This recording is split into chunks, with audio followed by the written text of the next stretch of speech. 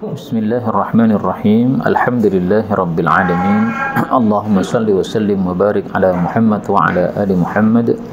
اللهم انفعنا بما علمتنا وعلمنا ما ينفعنا وزدنا علما وبارك لنا في علمنا. وارزقنا الإخلاص في القول والعمل كاملا. وعلما نافعا لا ينسى وتوفيقا دائما وصحة ويقينا وعافية. اللهم افتح لنا كل خير اللهم افتح لنا كل خير اللهم افتح لنا كل خير. آمين يا رب العالمين. Alhamdulillah kaum muslimin rahimani wa rahimakumullah. Kita berjumpa kembali dengan karya yang baru dari uh, Syekh Al-Qiyai Imam Ghazali Al-Jawi rahimahullahu taala.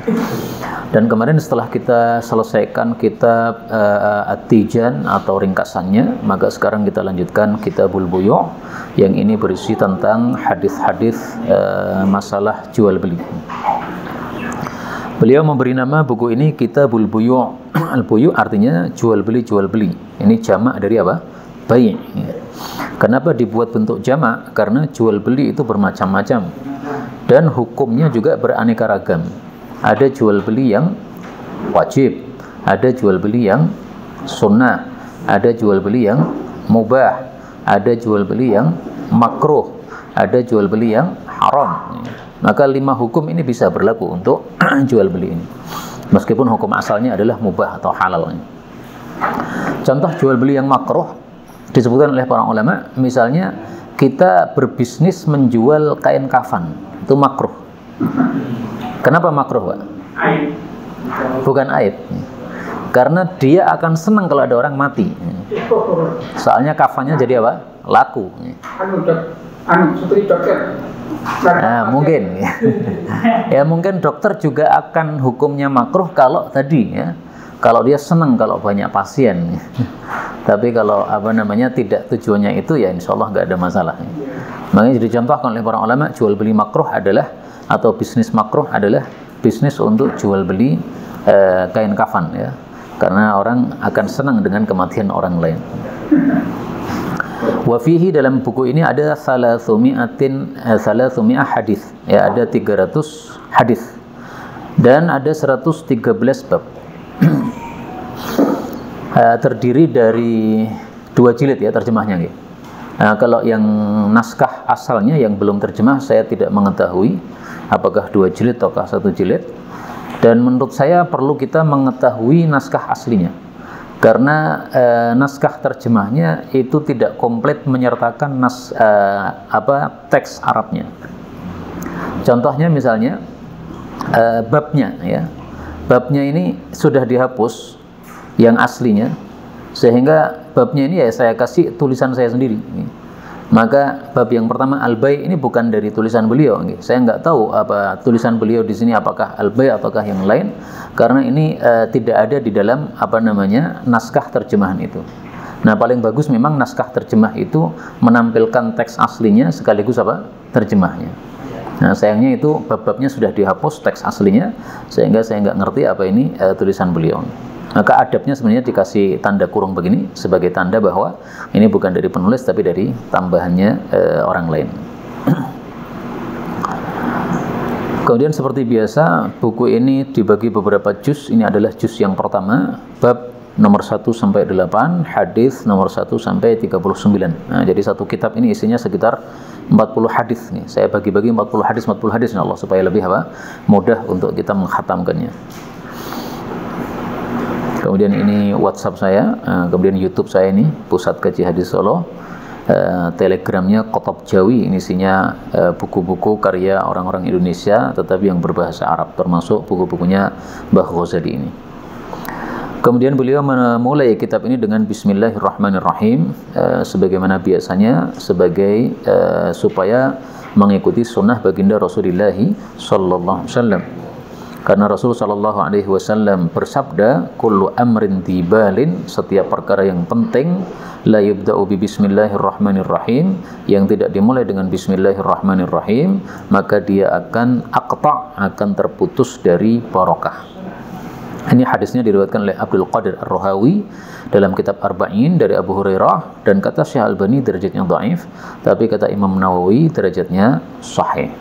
Nah, kalau kita menganggap hadis ini dhaif sehingga kita tidak berdalil dengan hadis ini.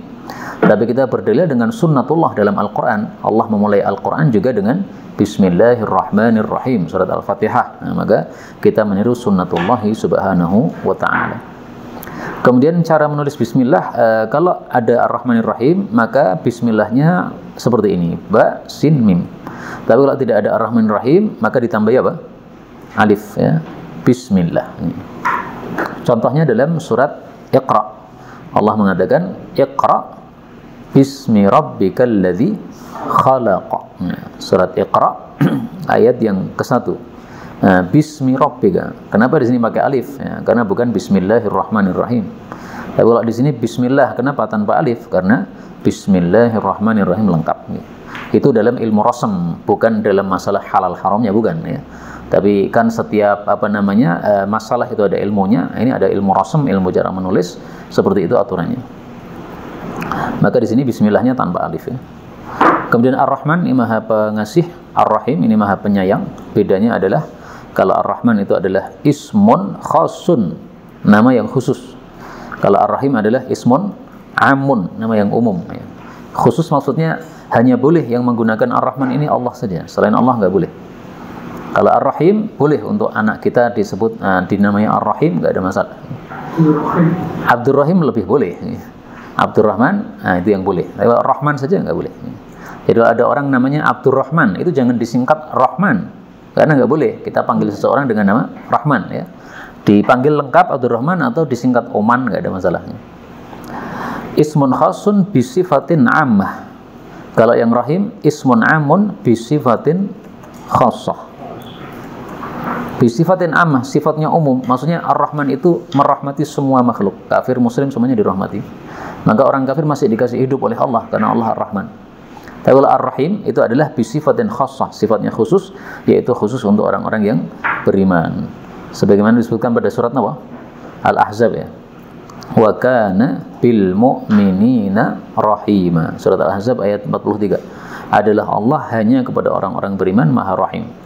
Sehingga rahimnya Allah itu adalah bisifatin khassah, sifatnya khusus untuk orang-orang yang beriman.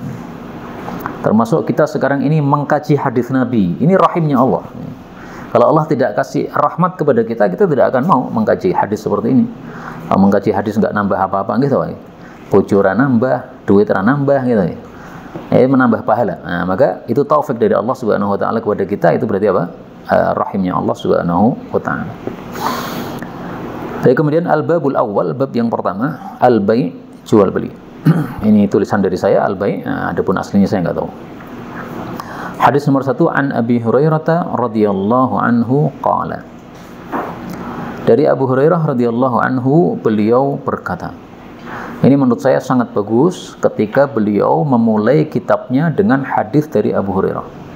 Kenapa? Karena sahabat Nabi yang paling banyak meriwayatkan hadis adalah Abu Hurairah. Sampai disebut rawiyatul Islam. Perawi di dalam Islam.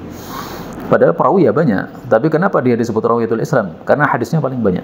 5000 hadis dirawatkan dari Rasulullah sallallahu alaihi wasallam. Lain-lainnya itu cuma 3000, 2000. Kemudian Abu Hurairah ini memang namanya dan nama bapaknya itu diperselisihkan sangat banyak sehingga eh, biasanya para ulama hanya menyebut Abu Hurairah, tidak menyebutkan namanya. Nah, sebagian lagi menyebutkan namanya seperti Imam Nawawi dalam Arba'in Nawawiyah, dia mengatakan an Abi Hurairah Abdurrahman ibni Sakhrin. Nah, ini perbuatan Imam Nawawi menambahkan nama Abdurrahman bin Sakhr ini dikritik oleh para ulama. Seolah-olah namanya cuma ini, padahal diperselisihkan sangat banyak. Jadi mereka mengatakan eh, bahwa sikapnya Imam Nawawi ini kurang bagus karena menampakkan seolah-olah ini disepakati. Ya. Paling bagus kalau ditambahkan misalnya uh, wa fihi khilaf atau khulf.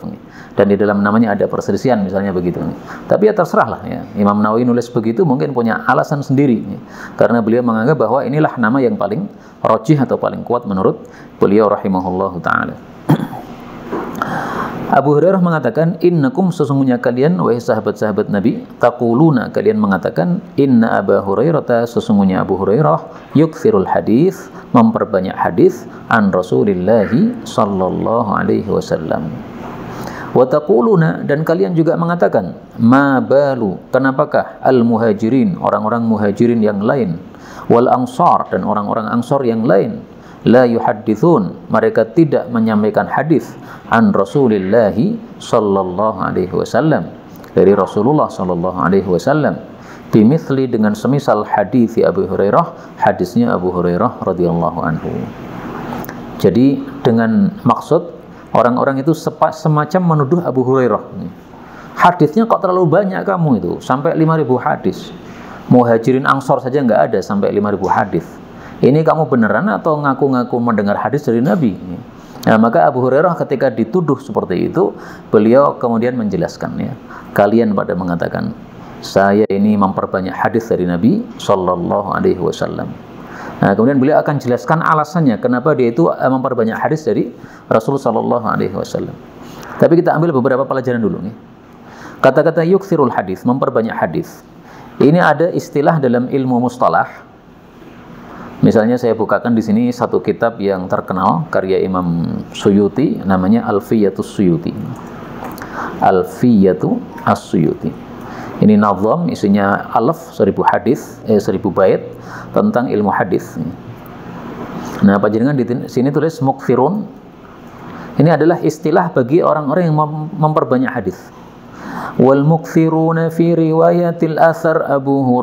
Yalihi ibnu Umar wa Anas wal bahru kal khudri wa Jabirun wa zaujatun nabiyyi wal mukthiruna dan orang-orang yang memperbanyak riwayat hadis fi riwayatil athar dalam meriwayatkan hadis Nabi sallallahu alaihi wasallam adalah yang pertama Abu Hurairah radhiyallahu anhu. Ini 5000 hadis. Yalihi berikutnya adalah Ibnu Umar. Ini sekitar 3000 hadis. Wa Anasun dan Anas bin Malik Wal Bahar, Bahar ini julukan bagi siapa? Ibnu Abbas. Ibnu Abbas saking luasnya ilmunya itu disebut Al Bahar, laut. Lautnya apa? Ilmunya seperti lautan yang sangat luas. Kal Khudri, siapa ini Al Khudri? Abu Sa'id Al Khudri. Wa Jabir dan Jabir bin Abdullah wa zaujatun Nabi dan istrinya Nabi. Siapa istrinya Nabi, Pak? Aisyah radhiyallahu anha. Nah, inilah enam orang yang paling banyak meriwayatkan hadis dari Nabi Sallallahu Alaihi Wasallam. Enam atau tujuh ini? Satu Abu Hurairah, dua Ibnu Omar. Ibnu Omar kenapa banyak hadis? Karena dia sangat rakus kepada ilmu. Nabi apa pun yang dilakukan tuh di, di, diincer sama Ibnu Umar ini. Sampai kalau safar melewati satu tempat kemudian pipis di situ, maka Ibnu Umar niteni Nabi pipis di sini. Sehingga kalau beliau safar lewat tempat situ turun, Pak. Ayo pipis dulu sini. Itu saking apa semangatnya mencari ilmu sampai begitu. Maka wajar kalau hadisnya banyak. Kemudian Anas nomor tiga, ini adalah karena dia sebagai pelayan Nabi. Wajar kalau ilmunya banyak, hadisnya banyak. Ibnu Abbas juga begitu, dia wajar ilmunya banyak karena sangat rakus terhadap ilmu. Dia pernah minta izin sama Nabi untuk tidur di rumah beliau, untuk ngincer bagaimana tahajud Nabi. Padahal usianya baru sekitar 10 tahun, Pak. 10 tahunan. 10 tahun ngincer tahajudnya Nabi, itu pasti orang yang apa? semangat ilmunya sangat dahsyat. Kemudian Abu Sa'id Al-Khudri. Ini yang kelima. Kemudian keenam Jabir bin Abdullah. Kemudian yang ketujuh istri Nabi Aisyah radhiyallahu taala anha. Nah untuk yang Abu Sa'id ini memang sebagian ulama tidak menyebutkan.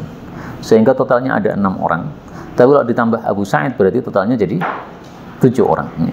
Abu Hurairah, kemudian Ibnu dua kali, Ibnu Umar, Ibnu Abbas, kemudian ya, istri Nabi dan pembantu Nabi berarti Anas sama Aisyah nah, kemudian Jabir sama Abu Sa'id yang perlu dihafalkan dua ini. Kalau sahih tidaknya tidak selalu. Karena sahih tidaknya itu berkaitan dengan sanad di bawahnya. Jadi misalnya Abu Hurairah meriwayatkan hadis tapi kalau sanad ke bawahnya ada yang dhaif ya otomatis jadi dhaif. Atau sanad bawahnya itu ada pemalsu hadis ya hadisnya jadi hadis palsu maka tidak selalu riwayat Abu Hurairah berarti sahih, tidak, tidak harus begitu. Tergantung siapa yang meriwayatkan. Nah, kemudian ini maksudnya, kenapa orang-orang muhajirin dan ansor hadisnya tidak banyak, sementara hadis mubana banyak. Ini maksudnya adalah, kamu itu masuk Islamnya belakangan. Muhajirin Ansor ini sudah lama masuk Islam. Maka masuk akalnya yang sudah lama masuk Islam, hadisnya harus lebih banyak. Yang barusan masuk Islam, masuk akalnya, hadisnya lebih sedikit. Abu Hurairah masuk Islamnya kapan, Pak? Pada tahun Khaybar. Khaybar tahun berapa? 7 Hijriah. Wafat Nabi tahun 11 Hijriah. Berarti bersama Nabi sekitar 4 tahun. 7, 8, 9, 10, 4 tahun. Nah, empat tahun mulazamah sama Nabi kok mengalahkan yang mulazamah lama. Nah, maka menurut mereka ini perlu di apa namanya diteliti dulu. Benar nggak ini hadis semua ini? Oh banyak sekali hadis-hadis yang kamu riwayatkan. Uh, maka jawabannya bisa dua. Jawaban yang pertama ini akan disebutkan oleh Abu Hurairah di sini. Jawaban yang kedua adalah Abu Hurairah hadisnya banyak karena dia tidak hanya mengambil dari sabda Nabi tetapi mengambil dari murid-muridnya Nabi yang dulu-dulu. Mendengarkan dari apa namanya Abu Bakar, mendengarkan dari Umar, mendengarkan dari Utsman, Nah, sehingga riwayatnya Abu Hurairah dari Nabi itu tidak langsung kadang-kadang tidak langsung dia mendengarnya dari telinga dia. Tapi kadang-kadang lewat yang Abu Bakar. Hanya saja dia tidak menyebutkan Abu Bakar menceritakan kepada saya, nggak begitu. Langsung dia mengatakan Rasulullah bersabda dan itu boleh, nggak ada masalah. Karena toh dia juga ketemu dengan Rasulullah Sallallahu Alaihi Wasallam. Saya mau membaca akhirnya riwayatnya Abu Hurairah itu Abu Hurairah itu mantap itu. Pertanyaan saya apakah ada satu saja hadis Abu Hurairah yang ditolak? Yang doaif ditolak maksudnya doaif kan? Banyak sekali hadis Abu Hurairah yang doaif tapi bukan karena Abu Hurairahnya tapi karena perawi di bawahnya. Kalau Abu Hurairah nggak akan ditolak Kenapa? Abu sahabat Nabi semuanya itu adalah udul diterima riwayatnya. Ini akidah kita ahlu sunnah ya. Kalau orang-orang Syiah mereka mengatakan eh, sahabat itu dibagi dua, ada yang udul, ada yang tidak udul. Nih. Sehingga ada yang riwayatnya ditolak, ada yang riwayatnya diterima. Kalau kita ahlu sunnah enggak, semua sahabat Nabi. Mau Abu Bakar yang tingkatnya paling tinggi, mau Muawiyah yang tentu saja tingkatnya berbeda dengan Abu Bakar, tetap semuanya adalah apa? Sahabat Nabi. Sehingga semuanya itu riwayatnya adalah udul. Ini akidah kita ahlu sunnah wal jamaah. Nah, adapun contoh hadisnya Abu Hurairah yang doaif misalnya gampang sekali. Di sini ditulis Abu Hurairah, bawahnya panjangan tulis maudhu atau palsu akan muncul. Nah, ini hadis maudhu diriwayatkan dari Abu Hurairah. Ini. Tapi bukan yang memalsukan bukan Abu Hurairah. Orang-orang bawahnya itu yang memalsukan. Nih. Akhiru ma takallama bihi Ibrahim yang paling terakhir diucapkan Nabi Ibrahim ketika dilempar di neraka adalah hasbi Allah wa ni'mal wakil. Nah, itu katanya dari Abu Hurairah dari Rasul sallallahu alaihi wasallam. Itu palsu. Yang benar itu adalah perkataan Ibnu Abbas saja. Dan Ibnu Abbas tidak mengatakan ini sabda Nabi tidak. Ibnu Abbas cuma menyampaikan Nabi Ibrahim itu ketika dilempar ucapan terakhir adalah itu. Nah sumbernya Ibnu Abbas dari mana kita juga nggak tahu ya. Bisa jadi dari Nabi tapi dia tidak mengatakan dari Nabi. Bisa juga itu dari cerita Israiliyat karena memang ya, Ibnu Abbas itu suka dengan riwayat-riwayat Israiliyat. Iya, hasbi Allah ni'mal wakil. Nah, ini katanya perkataan Nabi Ibrahim. Nah, bisa jadi benar, bisa jadi tidak. Tapi jangan mengatakan ini sabda Nabi karena hadisnya apa? Palsu. yang menulis itu Apa Pak? Banyak buku yang menulis itu Oh tentang doa ini? Iya, banyak sekali. Memang populer riwayatnya. Hanya yang salah adalah kalau mengatakan itu sabda Nabi gitu aja. Iya. Seperti an-nadzafatu minal iman itu banyak tembok ditulisi. Yang salah adalah kalau mengatakan itu sabda Nabi. Isinya nggak salah. tapi bisa untuk amalan Bisa untuk amalan. Nih. Oh, amalan tuh nggak perlu amalan yang baik itu nggak perlu dalil kok. Kebersihan kan amalan yang baik. Ya. Eh, bukan termasuk ibadah kan nggak perlu dalil. Baik, kemudian beliau mengatakan wa inna ikhwati dan sesungguhnya saudara-saudara saya minal muhajirin yang muhajir kana yashghaluhum adalah menyibukkan mereka sofkun jual beli bil aswaq di pasar-pasar. Nah, ini alasan Abu Hurairah. Kenapa saya banyak hadisnya? Karena teman-teman saya yang muhajirin, meskipun Islamnya sudah lama, tapi setiap hari ke pasar. Lah mereka ke pasar, saya melazimi Nabi. Jadi sabda Nabi satu jam saya hafal semua. Sementara mereka nggak datang di majelisnya Nabi. Ba'da subuh itu kan Nabi pasti di masjid, Pak. Nggak keluar sampai terbit matahari. Itu tidak semua sahabat sama Nabi, enggak. Yang ke pasar ya kira-kira ya seperti zaman sekarang. Pasar ya jam 3 atau jam berapa itu ya. Subuh sudah datang pasti mereka. Nah, maka habis salat subuh ya kira-kiranya ya sahabat-sahabatnya yang suka jual beli ya sudah pa pasti pergi ke pasar untuk segera jualan. Datang ke pasar terlambat ya sudah nggak ada pembeli. Nah, ya, yang keladang-keladang itu adalah yang angsor. Wa kuntu dan adalah aku alzamu Rasulullah sallallahu alaihi wasallam. Oh, di sini nggak disebutkan ya yang angsor ya. Oh, setelahnya, setelahnya. Saya melazimi Rasulullah sallallahu alaihi wasallam ala mil'i batni, atas penuhnya perut saya. Maksudnya, saya mencukupkan diri, perut terisi, sudah. Saya nggak perlu punya HP, nggak perlu punya motor, nggak perlu punya rumah. Pokoknya isi apa perut saya terisi sudah. Saya cukup. Saya melazimi Nabi SAW. Siapa itu? Abu, Abu Hurairah ini. Kalau teman-teman saya kan berjual beli. Kenapa? Karena butuh duit, butuh memberikan nafkah kepada anak istri. Saya nggak butuh apa-apa. Saya butuhnya perut penuh, wes sudah selesai. Nah, makanya kalau perut penuh sudah, saya langsung melazimi Nabi. Perut kosong pulang ke rumah cari makan. Udah penuh melazimi Nabi. Oh, begitu. Jadi 24 jam sama Nabi. Iya, ahli sufah.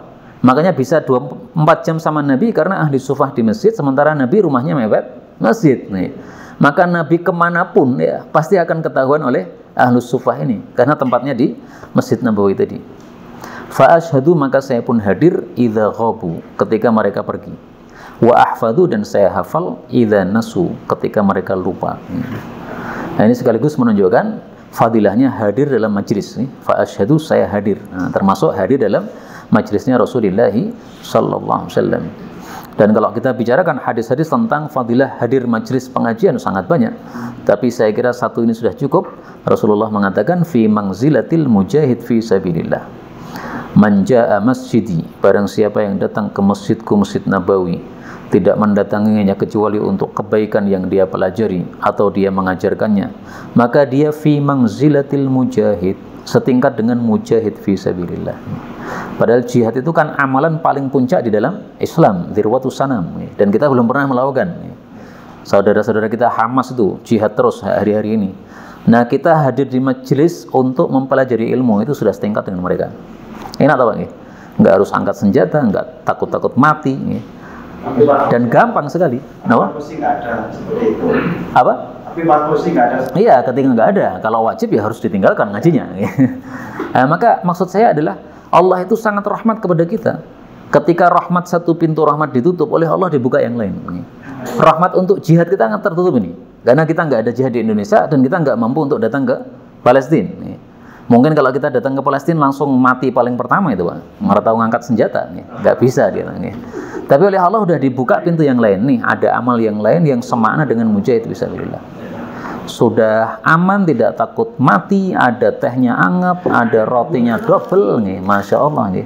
Ini gembuannya besar sekali nih, Pak. Menakutkan nih.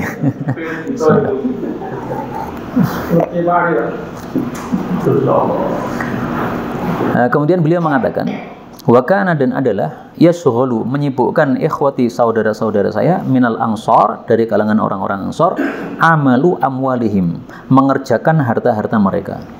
Nah yang dimaksud harta di sini ada dua, ya. ada ternak dan ada tanaman. Maka muhajirin itu mereka orang-orang ahli bisnis karena asalnya orang-orang Mekah dan orang-orang Mekah itu eh, karena tanahnya gersang sehingga penghidupan mereka itu dari bisnis. Tapi kalau Madinah itu tanahnya subur. Nah, sehingga di Madinah itu ada yang amwalnya ini adalah eh, apa ternak, ada yang awal amwalnya adalah tanaman. Dan kita eh, teringat eh, satu hadis yang bicara tentang masalah rezeki. Tis'atu a'syari rezeki. Tis'atu a'syari rezeki. 90% rezeki itu fit tijarah di dalam bisnis. Wal usru adapun sepersepuluhnya fil mawashi pada ternak. Kalau ditambahkan ya ternak plus tadi apa? Tanaman tadi ini. Kenapa? Nah, pegawai negeri itu mungkin setingkat dengan apa?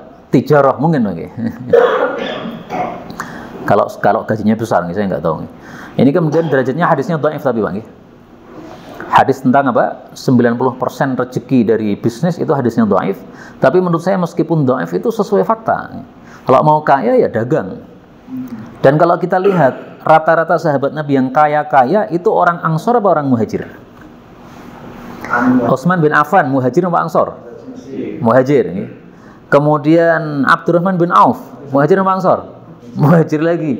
Rata-rata muhajir pak. Hmm. jadi ada orang-orang kaya sahabat Nabi Ansor tapi nggak selevel dengan yang apa pebisnis pebisnis ini. Nah ka- maka maka kalau mau kaya ini kuncinya nih tijoro. Kalau mau kaya nih tapi apa namanya? Eh, para sahabat-sahabat Nabi SAW ketika mereka tijarah atau berbisnis itu tujuannya sebenarnya bukan hartanya tapi tujuannya adalah amalnya. Nah maka kalau kita mau niru mereka marilah eh, mindsetnya diubah dulu. Jadi bukan untuk mengumpulkan hartanya tapi untuk me- menambah amalnya. Wa kuntu dan adalah saya kata Abu Hurairah imra'an seseorang miskinan yang miskin. Min masakini sufah dari orang-orang miskin yang ada di sufah. Sufah itu yang di bagian belakang masjid yang digunakan untuk orang-orang yang tidak punya rumah di eh, kota Madinah. Dan jumlah mereka itu naik turun. Kadang 70, kadang naik, kadang eh, kurang. Itu karena eh, apa namanya tidak samasa. nggih. Ada beberapa orang datang kemudian menjadi ahli sufah, kemudian kalau sudah menikah meninggalkan tempat. Nah, kalau Abu Hurairah itu melazimi sampai lama sekali sampai wafatnya Rasulullah sallallahu. Nah, sekarang pembahasan miskin ini ini juga diperselisihkan oleh para ulama definisinya.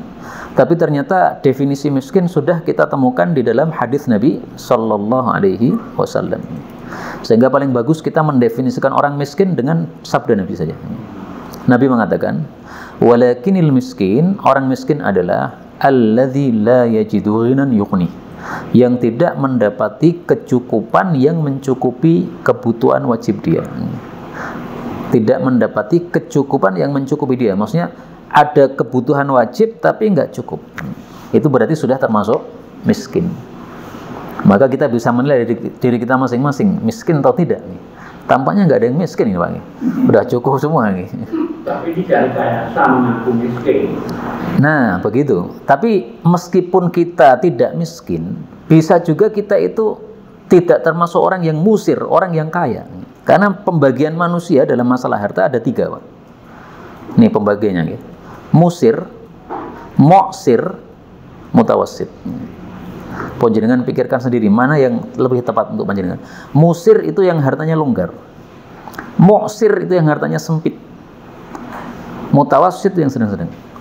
Musir yang hartanya longgar adalah ketika pemasukannya lebih banyak daripada pengeluaran wajib. Pengeluaran wajib 1 juta, pemasukan 2 juta, musir. Moksir sebaliknya, pengelu, apa, pemasukannya kurang daripada pengeluaran wajibnya. Pengeluaran 1 juta, pemasukan 900, nah, moksir. Mutawasid sedang-sedang itu adalah orang yang pengeluarannya dengan pemasukannya sama. Sehingga pas-pasan. Enggak kurang tapi juga enggak enggak sisa. nih. Sehingga kebutuhan semuanya yang wajib mana yang paling afdol? Ini tidak ada yang paling afdol dari se- dari secara pribadinya, tapi amalannya nanti. Oh tidak kayak gitu. Karena ini semuanya sudah ditakdirkan oleh Allah Subhanahu wa taala. Nah, maka ini semuanya nggak ada kaitannya sebenarnya karena Allah tidak pernah melihat kekayaan seseorang, tapi yang paling dilihat oleh Allah adalah amalnya. Kalau musir amalnya banyak, ya utama. Atau muksir amalnya banyak, tambah utama lagi. Sama-sama sedekah ya. Kalau muksir cuma seribu, sementara musir seratus ribu, itu seratus ribu bisa kalah pak nilainya pahalanya. Karena yang muksir ini uangnya cuma 2000, dia sedekah 1000. Berarti sedekah separuh kekayaan. Lah yang musir nih uangnya 100 juta, tapi sedekahnya cuma 100 ribu. Nah, berapa persennya? Kecil sekali itu. nih. Nah, sehingga lebih besar pahalanya orang yang muksir karena dia sedekahnya sudah separuh dari kekayaan dia. Nah, kita bisa melihat diri kita masing-masing termasuk yang mana nih? Musir, muksir, atau mutawasid. pas-pasan. Nah, pas-pasan maksudnya pas apa butuh ada itu Pak ya. Pas butuh haji bisa, nggih. Nah, pas-pasan nggih. Alhamdulillah. Jadi yang musik itu misalnya kita tak bahkan kayak Abdurrahman bin Affan pernah dikatai Aisyah itu dia merangkak ketika Hadis tentang Abdurrahman bin Auf merangkak masuk surga tidak sahih. Dan seandainya sahih tidak masuk akal.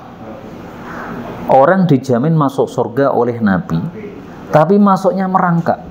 Lah terus kita yang nggak dijamin gimana loh Pak? Nggak masuk akal gitu. Secara nalar nggak masuk akal nih. Dijamin masuk surga tapi kok merangkak. Ya kasihan yang lain-lain itu. Masya Allah nggak mungkin tuh ya. Jadi secara sanat doif, secara masuk akal nggak masuk akal. Kemudian Ai saya menghafal hina ketika yang saun mereka lupa. Waqad qala dan sungguh telah berkata Rasulullah sallallahu alaihi wasallam fi haditsin dalam satu hadis yuhaditsu yang beliau menyampaikan hadis itu. Innahu sesungguhnya layyabsuta tidaklah menghamparkan ahadun seseorang thawbahu bajunya atau kainnya hatta aqdiya sehingga saya menyelesaikan maqalati ucapan saya hadhihi ini Thumma yajma'u kemudian dia kumpulkan ilaihi kepadanya thawbahu eh, kainnya illa kecuali wa'a dia menghafal ma'aqulu apa pun yang saya ucapkan. Jadi maksudnya pada suatu majelis Rasulullah mengatakan kalau ada yang bawa kain kemudian kainnya dihamparkan kemudian setelah saya menyelesaikan ucapan saya kemudian kainnya dia kumpulkan ke tubuh dia begini maka semua ucapan saya pasti akan masuk ke dalam hatinya nggak akan lupa. Nah pas itu Abu Hurairah bawa kain, Pak. Fabasatu maka saya hamparkan namirotan kain namirah. Namirah itu kalau dalam kamus artinya adalah macan loreng. Maka maksudnya namirah ini kain yang apa? Coraknya macan. Jadi ada garis putihnya, ada garis hitamnya. Alaya yang saya pakai. Hatta sehingga idza qada ketika sudah menyelesaikan Rasulullah sallallahu alaihi wasallam maqalatahu ucapannya jama'atuha saya pun mengumpulkan kain namirah tadi ila sadri ke dada saya kumpulkan begini Fama nasitu maka saya pun tidak lupa min maqalati dari sabda Rasulullah sallallahu alaihi wasallam tilka itu min syai'in sedikit pun. Hadis muttafaqun alaih. Setiap kali. Kenapa? Setiap kali. Enggak, pas itu saja. Ya. Karena tadi kalimatnya adalah fi hadithin. Ya. Pada satu hadis. Jadi suatu saat pada suatu hadis yang beliau sampaikan Nah, beliau mengatakan, siapa yang menghampar kain-kain, nanti dia kumpulkan, nggak akan lupa lagi. Nah, yang dimaksud nggak akan lupa lagi ini apakah cuma pas majlis itu saja, atau semua sabda Nabi total? Ini ada dua ihtimal. Kalau melihat kalimat ini, tilka, ya, itu saja. Tapi kalau melihat fakta, Abu Hurairah itu 5000 hadis dia riwayatkan, yang salah cuma dua, Pak.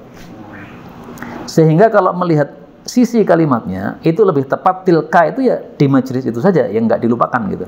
Tapi kalau melihat fakta Abu Hurairah hafal semua sabda Nabi SAW yang pernah dia dengar cuma salah dua dari lima ribu. Nah kalau santri-santri kan biasanya di pesantren itu suruh ngapalkan arba'in 42 hadis. Itu salahnya bisa lebih dari 42 Pak. Hadisnya 42 tapi salahnya lebih dari 42 nih. Tapi Abu Hurairah ini 5000 salahnya cuma dua ya namanya manusia harus apa namanya pernah salah juga ya mahalul khata wa nisyan tapi itu enggak enggak enggak senilai sama sekali kesalahan itu dengan hafalan beliau radhiyallahu taala anhu kemudian pembahasan yang kedua dari hadis ini adalah bolehkah ini kita amalkan jadi misalnya saya ngaji begini, kemudian panjenengan ngamparkan kain nih. kemudian setelah selesai, kemudian ditarik begini. Apakah bisa kita amalkan? Nah, ini saya melihat ada dua pendapat di antara guru-guru saya. Ada yang mengamalkan, ada yang tidak. Salah satu yang mengamalkan adalah uh, guru saya Ustaz Mudakir Hafizullah, tapi tidak dengan apa namanya kain begini. Di majelis begini kan berdoa, nih. Nah, setelah berdoa itu dilempar gini. Nah, kemudian murid-muridnya suruh nyawa begini, meniru apa yang diperintahkan oleh Nabi kepada Abu Hurairah ini. Nah, ketika saya tanyakan kepada guru yang lain, gimana saat gini Ustaz? Ya insya Allah nggak masalah, Wong Nabi juga apa melakukan kepada murid-muridnya. Tapi apakah manfaatnya sama dengan yang dari Nabi itu yang jadi masalah? Kita nyawuk-nyawuk tapi nggak ada jaminan bahwasanya kita nyawa akan apa? Mendapatkan hafalan. Kalau ini kan udah dijamin Nabi, Pak. Ini pasti ini. Nah, sehingga kalau saya pribadi tetap termasuk tidak yang mengamalkan. Jadi kalau beliau melemparkan gini ya saya diem aja gitu. Yang penting saya sudah mengaminkan apa? Doa beliau. Karena menurut saya ini khusus bagi Rasulullah Sallallahu Alaihi Wasallam. Tapi ada yang barokahnya itu. Ya, bahkan Pak, napa? Abdullah bin Abbas kan dadanya toko Nabi kan. Iya, pas apa namanya menyiapkan air air itu ya, air air bersuci itu. Nah, tapi kan berbeda pak. Eh, itu kan menepuk dada dengan doa itu. Jadi tidak hanya menepuk dada, tidak. Tapi ada sisi doanya itu. Nah, apakah hafalannya Ibnu Abbas itu dari tepuan dada ataukah dari doanya? Kan kita nggak tahu kan? Ya, zahirnya dari dadanya tadi. Nah, sementara ini kan udah dijamin Nabi nih. Siapa yang ngemparkan kain, ngambil dia akan hafal. Udah dijamin Nabi, udah jelas. Karena Nabi ngomong dari wahyu. Tapi kalau orang lain yang melakukan, apakah pasti mendapatkan seperti ini? Ya, kita nggak ngerti, ya, nggak tahu. Maka kalau saya lebih suka tidak melakukan itu. Ya, tingkatannya beda. Wa fi riwayat dalam riwayat yang lain, wallahi demi Allah, laula kalaulah tidak ayatani, ada dua ayat fi kitabillah dalam Al-Qur'an, ma haddatsukum saya tidak akan menceritakan kepada kalian syai'an sesuatu pun abadan selama-lamanya Artinya kalau bukan dua ayat ini maka saya nggak menyampaikan hadisnya. Hadis cukup untuk saya saja. Tapi gara-gara ada ayat ini saya terpaksa menyampaikan hadis. 5000 hadis Nabi yang saya hafal ini ini harus saya sampaikan. Kalau saya nggak menyampaikan, saya kena ayat ini. Apa ayatnya? Innal ladzina sesungguhnya orang-orang yang yaktumuna mereka menyembunyikan ma anzalna apa yang kami turunkan minal bayyinati dari keterangan-keterangan wal huda dan petunjuk mim ba'di ma bayyanahu lin-nasi fil kitabi dan seterusnya itu ya. Kemudian uh, sampai pada ayat Ar-Rahim ya. yaitu Allah Subhanahu wa taala Maha uh, penyayang. Ini bisa dilihat pada surat Al-Baqarah 159 dan 160. Maka beliau mengatakan dua ayat tadi. Nah, baik kita baca ayatnya ya.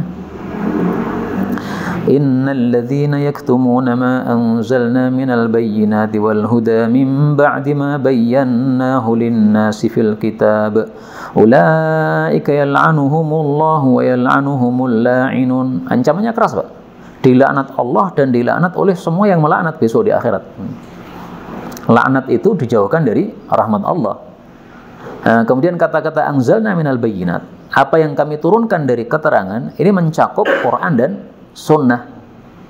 Maka angzalna kami turunkan ini tidak hanya Quran saja. Karena Allah menurunkan Quran sebagai wahyu, juga menurunkan sunnah Nabi sebagai wahyu yang kedua. Dan sunnah ini fungsinya sebagai penjelasan bagi Al-Quran. Sebagaimana sudah kita bahas dulu pada kitab Tijan itu. Nah, makanya Abu Hurairah memahami ayat ini, ma'angzalna ini termasuk hadis Nabi.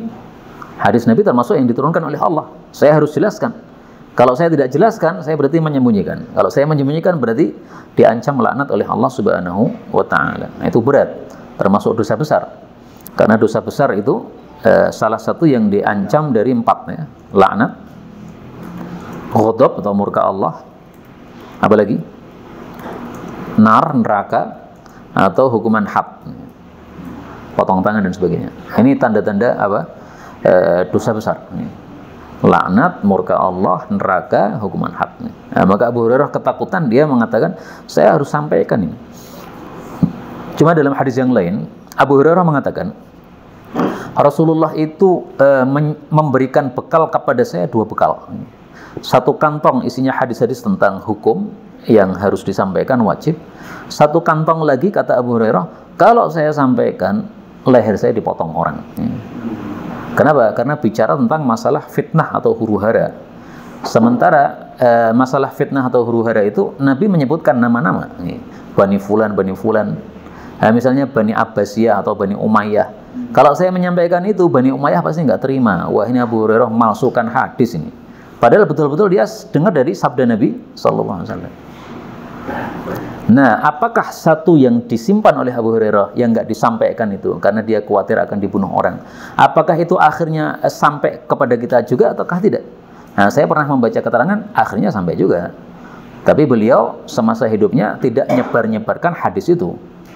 Kenapa? Karena kalau dia sebar-sebarkan hadis itu akan e, terpotong lehernya. Dan itu seandainya nggak disebarkan nggak apa-apa. Kenapa? Karena tidak berkaitan dengan hukum. Kalau berkaitan hukum ini wajib disampaikan. Nah, nggak disampaikan orang nggak ngerti hukum. Kalau cuma masalah fitnah tadi ya akan terjadi begini akan terjadi begini nggak ada kaitannya dengan hukum maka nggak ada nggak ada masalah untuk disembunyikan itu tidak termasuk yang diancam dalam ayat ini. Inilah yang dapat kita baca pada pertemuan kali ini satu hadis saja ya, karena sudah selesai satu bab. Insya Allah kita lanjutkan bab yang kedua tentang mencari penghidupan dan harta yang halal. Tapi belum sampai ke Bani Umayyah kan? Bani Umayyah sudah mengalami Pak. Mengalami dia. Umar Umar. Oh dia anu Pak, eh, sudah berdoa ya. Allahumma inni a'udzubika min sanatis sitin kama qala. Ya Allah saya berlindung untuk berjumpa dengan eh, tahun 60. Karena itu sudah mulai rusaknya orang-orang. Nah, dikabulkan oleh Allah sehingga apa namanya eh, belum sampai itu sudah wafat. Kita kembali pada judul awal tadi. Oke. Dari kultur Islam harus Indonesia. Kenapa? Kultur itu. GoFood. Ya. Ya. Sebenarnya yang dipermasalahkan dari GoFood itu apanya? Karena saya belum pernah apa namanya membeli lewat eh, GoFood itu belum pernah ya. Nggak ngerti saya. Nah, saya kalau beli ya langsung ke warung aja. Karena peluang mudah untuk memasukkan sesuatu yang tidak sah dan tidak halal. Eh, as- ahal- eh, asalnya gini pak, asalnya gini. Allah mengatakan wa ahallallahu al-bai'. Allah itu menghalalkan jual beli. Maka para ulama katakan hukum asal jual beli adalah halal.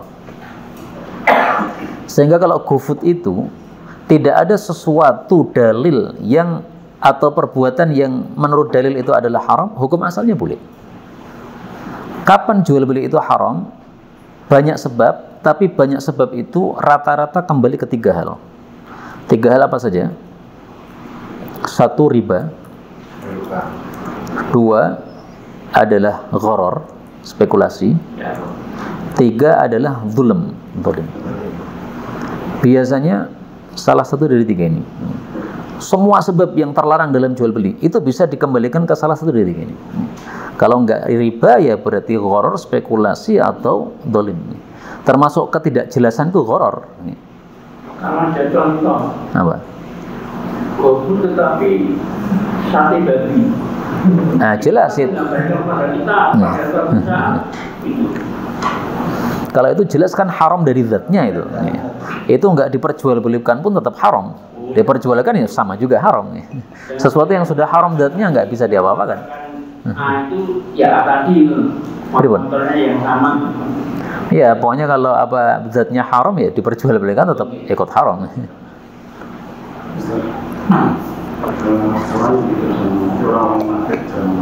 Ya. tidak semuanya yang dalam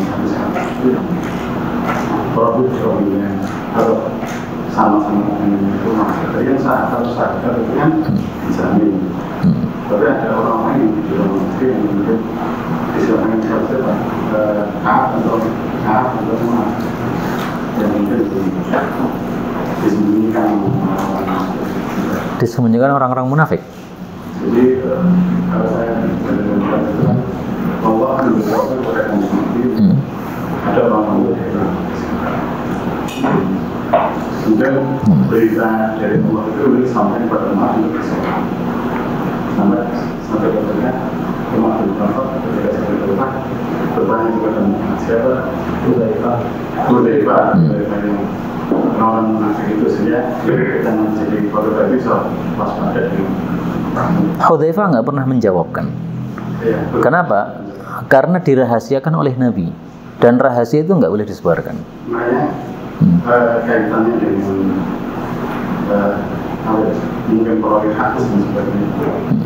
adakah yang disinyalir Hmm. dulu orang yang Ya menghukuminya apa?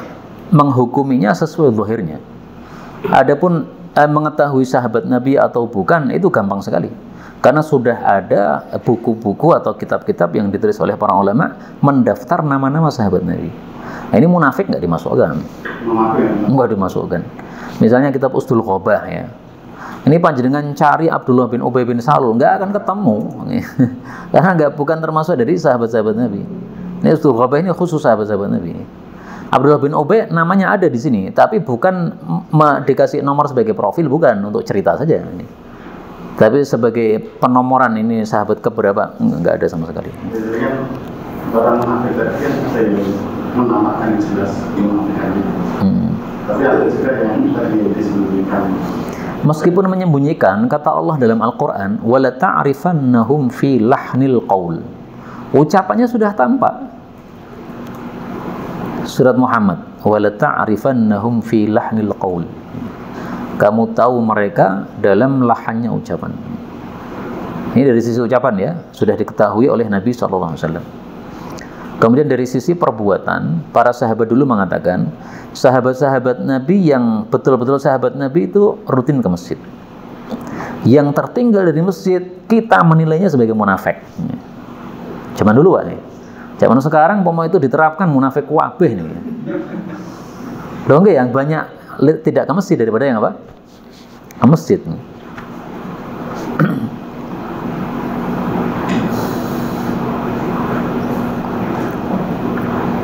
Ada lagi pembahasan untuk tambahan? Terakhir fakir fakir. Ya, fakir dengan miskin ini adalah dua kata yang apabila berkumpul, maksudnya disebutkan semuanya, maka ini beda, fakir dengan miskin.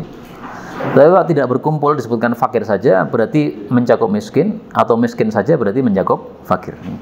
Nah, fakir ini menurut pendapat yang lebih kuat adalah asyaddu fakron. Dia lebih dahsyat kefakirannya daripada si miskin.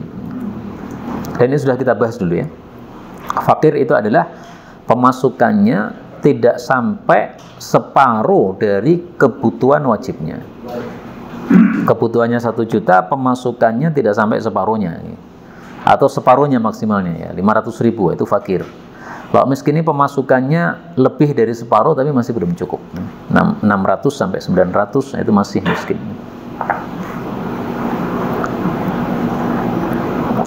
Nah, panjenengan sekarang ini mungkin apa? Mungkin tidak miskin gitu. Tapi mau nambah bujo papat mungkin nggih, mungkin miskin mungkin. Karena tidak cukup. Ya betul dijamin rezekinya. Kalau nggak cukup bisa jadi miskin itu.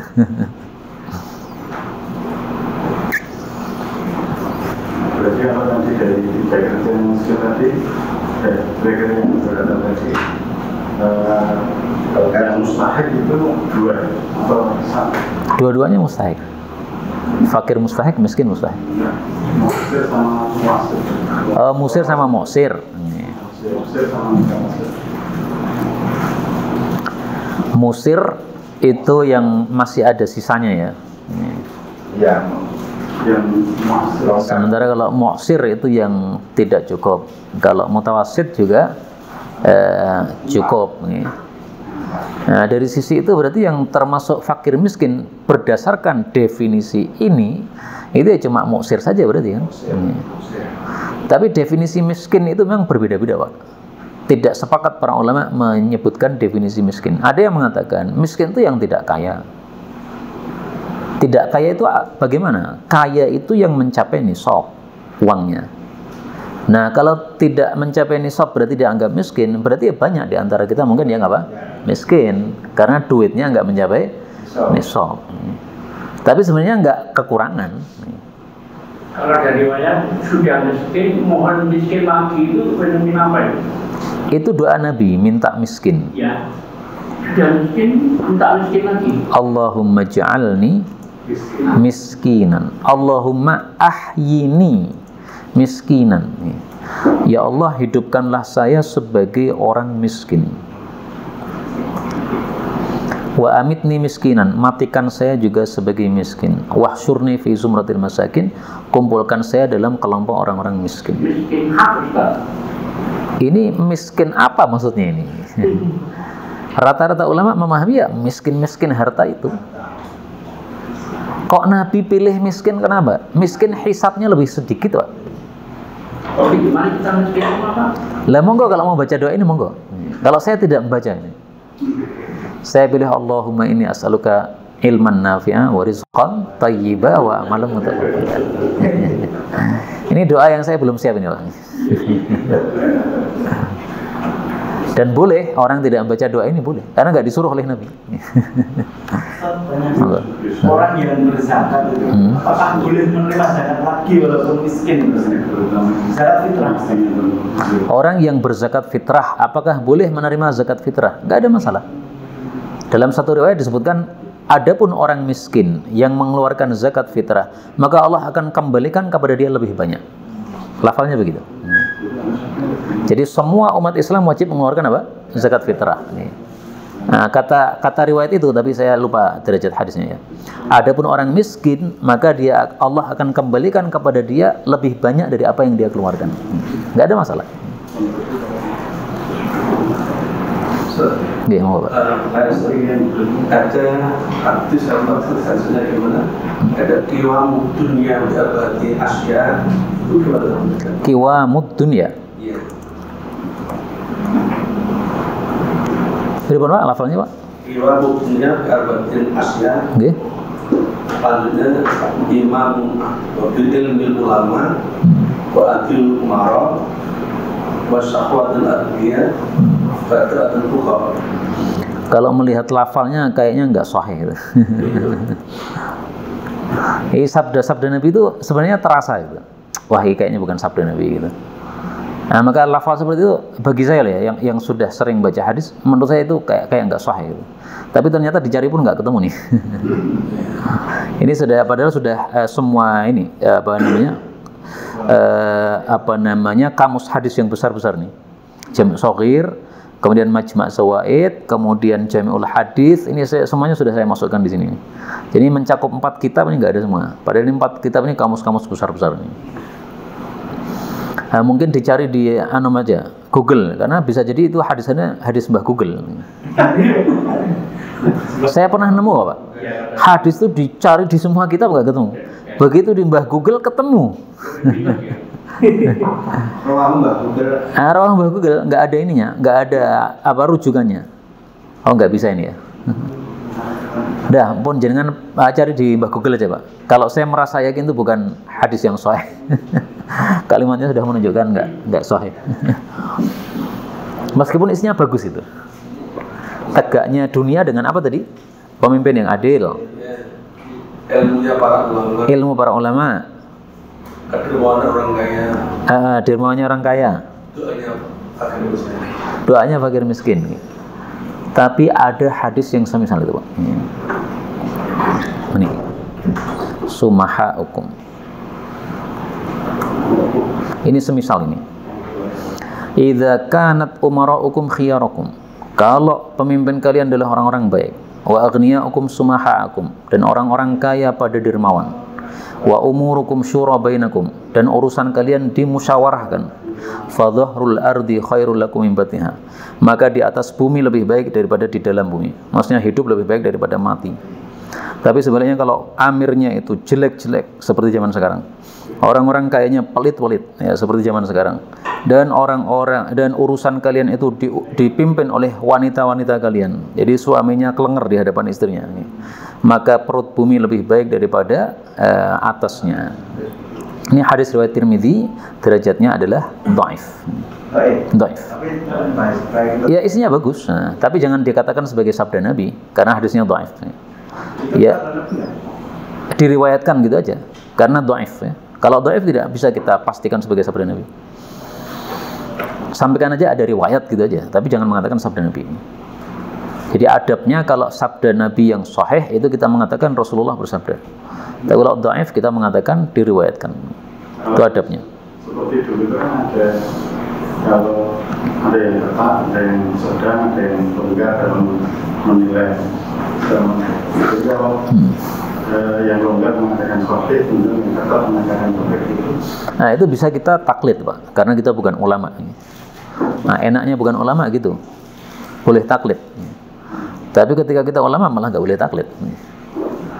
Kamu meyakini doaif ya harus mengatakan doaif karena kamu ulama. Nah kita bukan ulama malah enak.